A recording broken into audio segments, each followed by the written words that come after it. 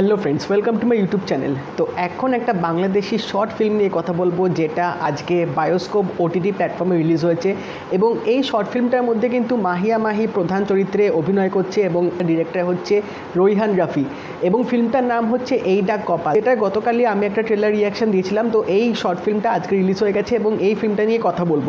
তো এটা কিন্তু একটা আঠাশ মিনিটের ফিল্ম সেজন্য আমি বেশি স্পয়লার দেবো না জাস্ট একটু বলার চেষ্টা করব, যেটুকুতে স্পয়লারটা যাতে অ্যাটলিস্ট নষ্ট না হয়। তো এই ফিল্মে আমরা দেখতে পাচ্ছি যে মাহিয়া মাহি একটা বেশ বড়লোক ঘরের মেয়ে যে একটা রাতে বন্ধুর সাথে লং ড্রাইভে বেরিয়েছে এবং লং ড্রাইভে বেরোনোর পর ওখানে একটা অ্যাক্সিডেন্ট হবে, একটা তিনি রোড অ্যাক্সিডেন্ট করে বসবেন, যার জন্য একজন মারা যাবে। এবং সেই মারা যাওয়ার পর যখন তিনি লাশটা যখন গাড়িতে তুলে পুরো ঢাকা শহরে যখন তিনি ঘুরবেন, তার মধ্যে কিন্তু তার বন্ধু সেখান থেকে তাকে ছেড়ে পালিয়ে যাবে এবং এরপরে কি কি জিনিস ঘটতে থাকে, তিনি আদেও লাশটাকে লোপাট করতে পারে কিনা বা তিনি লাশটাকে সরাতে পারে কিনা বা তিনি লাশটাকে নিয়ে কি করবেন আলটিমেটলি এবং যাকে মেরেছে, সে সত্যিকারেরই মরেছে কিনা?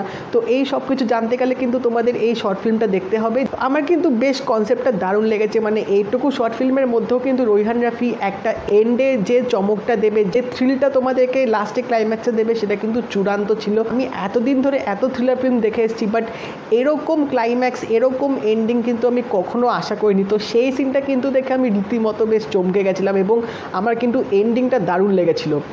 এখানে কিন্তু একটা রাতে পুরো দৃশ্য দেখানো হয়েছে, সেজন্য কিন্তু লাইটিংটা বেশ একটা ইম্পর্টেন্ট পার্ট প্লে করেছে এই শর্ট ফিল্মটার মধ্যে। লাইটিং ডিপার্টমেন্টটা কিন্তু বেশ ভালোভাবে এখানে কাজ করেছে। মানে ম্যাক্সিমাম টাইম আমরা দেখতে পাচ্ছি আইদার গাড়ির ভেতরে যে লাইট আছে, সেই লাইটে হচ্ছে, বা রাস্তার যে আলো আছে, সেই ন্যাচারাল লাইটগুলোকে নিয়ে এখানে করার চেষ্টা করা হয়েছে। এক্সেসিভ কিন্তু মানে আর্টিফিশিয়াল লাইট এখানে কিন্তু অত ব্যবহার করেনি। তার সাথেও কিন্তু বিজিএমটাও বেশ সুন্দর ছিল স্পেশালি আমার তো অ্যাজ ইউজুয়াল র্যাপটা দারুণ লেগেছে। র্যাপটা বেশ ভালোভাবে কিন্তু এই শর্ট ফিল্মটার মধ্যে ইউটিলাইজ করা হয়েছে স্টার্টিংয়ে দিয়েছে এন্ডিংয়ে দিয়েছে এবং কিছু কিছু ইম্পর্টেন্ট জায়গায় কিন্তু র্যাপটা ভালোভাবে এখানে ইনপুট করা হয়েছে।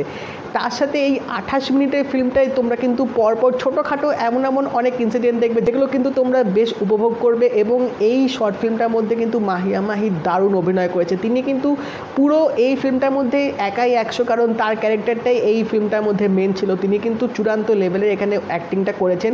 তো ওভারঅল বলা যেতে পারে এই স্বল্প সময়ের এই থ্রিলারটা কিন্তু বেশ ভালো লেগেছে দেখতে। মানে আঠাশ মিনিট কী করে পেরিয়ে গেল এটা কিন্তু আমি বুঝতেই পারিনি।